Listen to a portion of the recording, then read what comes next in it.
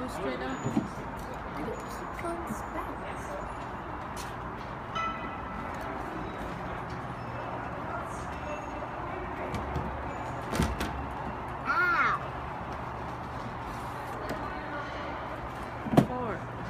backward.